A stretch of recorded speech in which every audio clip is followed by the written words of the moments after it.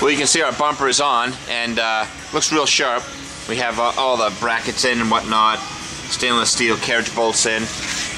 And uh, again, I, I think a nice stock bumper is just classic. Nice and clean, simple.